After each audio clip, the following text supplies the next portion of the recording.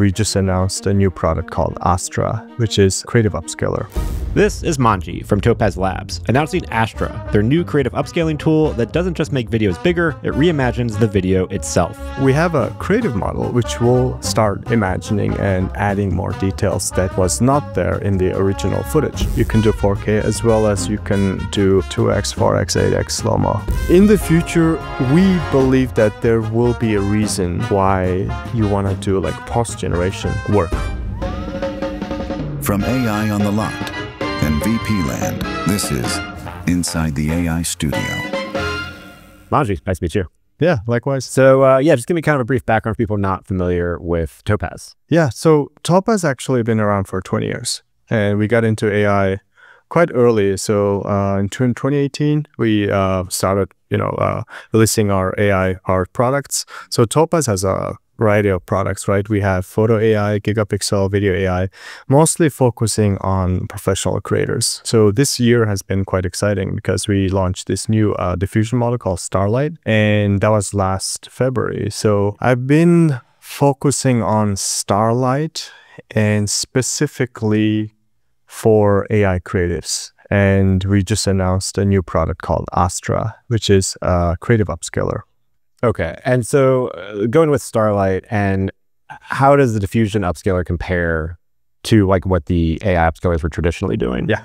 So if you look at Topaz Video AI, there's multiple models in it. Mm-hmm. They are GAN-based uh, models. So Starlight is our first, uh, and actually the first diffusion-based model for video restoration uh, use cases.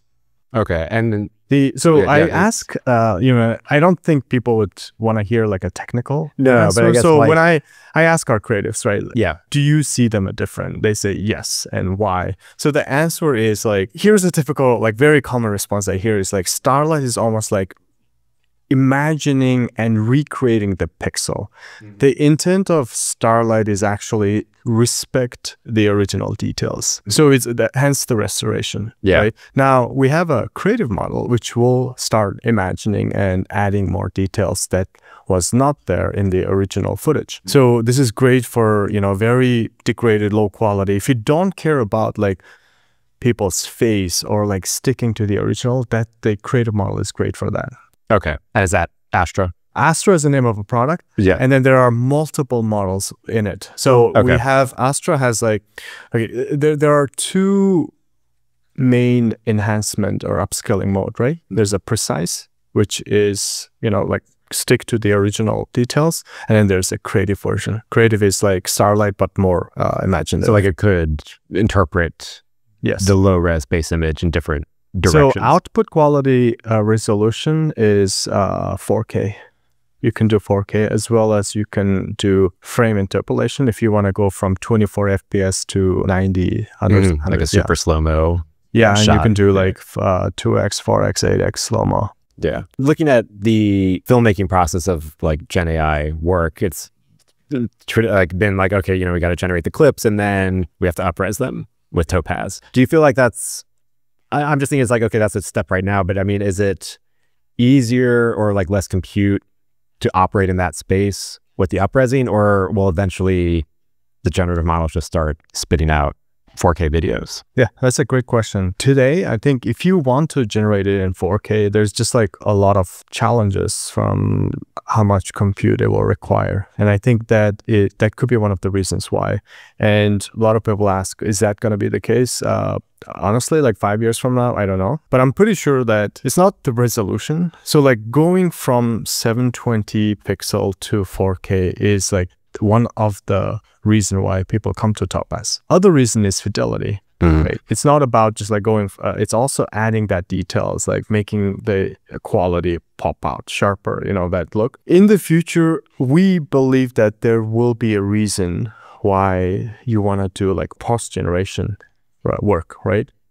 Because uh, I really believe that the creatives will figure out a way to go the extra mile. If you think about the counterfactual, right?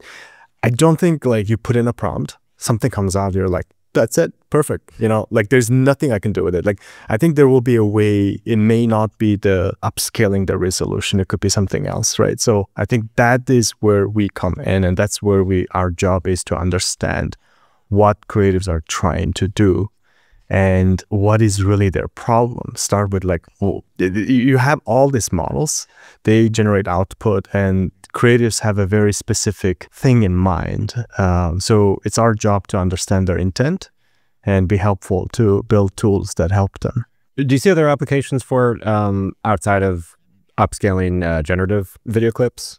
Like on, I, have found Topaz, you know, years ago looking because we were working uh, on documentaries and archival material, and it was, you know, with the uh, previous models you were talking about, it was Absolutely, like yeah. dial sliding and figuring out what worked best to like upscale yeah. it. But so do you see these applying to uh, those use cases as well? Yes, diffusion models. In fact, that when we first launched research preview of Starlight, we were focusing on restoration, whether that is an archival footage people were like, okay, there's just so much World War II documentary. We also thought that, you know, home videos.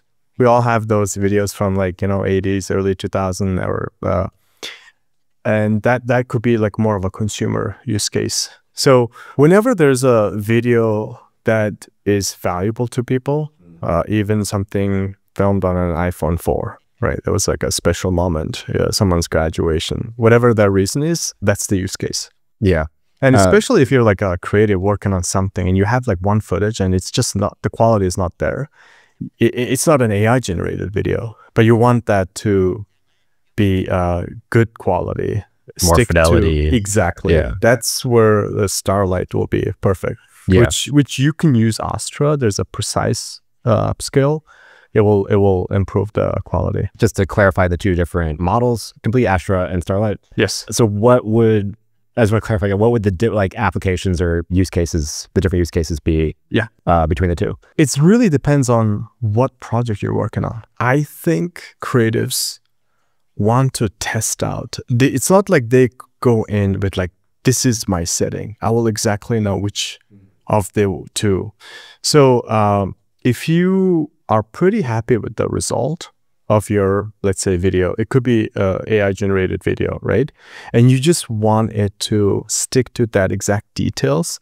That's when you would use precise mode, precise enhancement, right? But we also have a preview option where you can just test out different variations to figure out, okay, for this one, I really like that, uh, like a little bit of creativity. So you can kind of play around to see which one. I don't think creatives know exactly which one will come out. It's like it's kind of like surprise, you know. They want to see it. Yeah, that's part out. of the generative yeah. space. And I think Anyways. that's the same thing with other tools. Like you have controls, and you want to see what output you prefer, right? And when you see the difference, and, and then you kind of know, okay, this is. And I don't think it's like one you know type of creatives or one type of use cases will always use. I don't think that will be the case. Yeah. Okay. How uh, is the compute working? Because I know with Starlight, there was the cloud version, but then there was like a Starlight light that can run locally. Is that yeah accurate? Okay.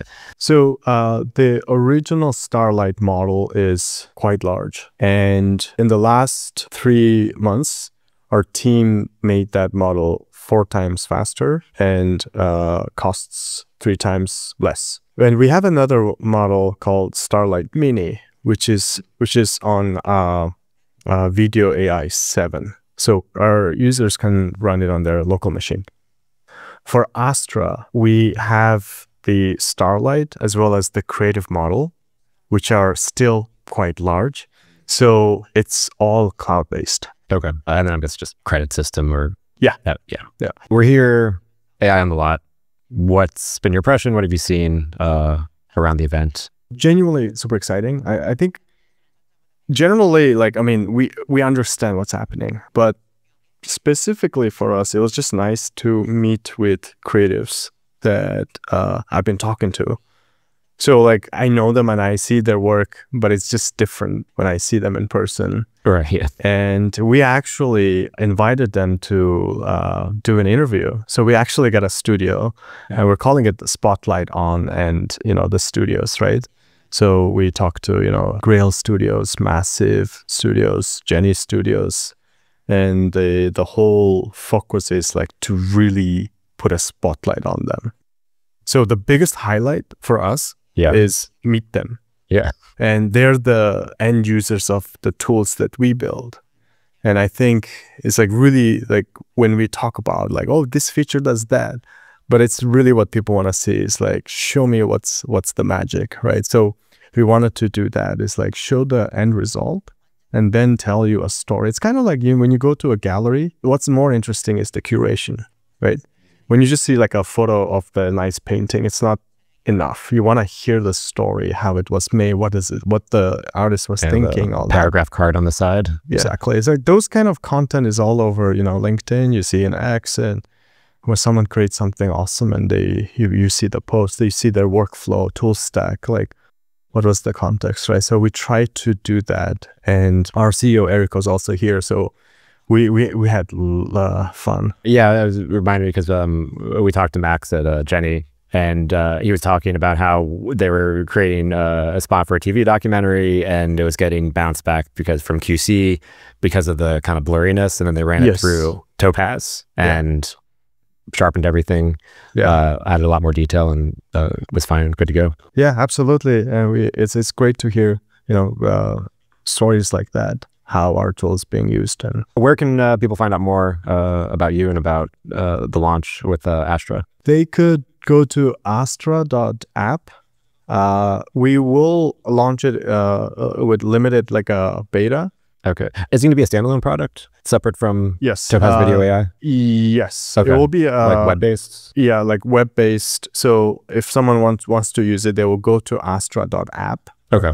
and uh, they can sign up on early access uh, waitlist, and then we would start onboarding people. And so would this be web app, upload your video clip to upscale, and Yes. then you get your so very stream because I use Topaz Video AI, and so it's a bit, Yeah. uh, so it it's has a not lot a of- desktop app. Yeah, okay. It's it not a like of something you and download and, yeah.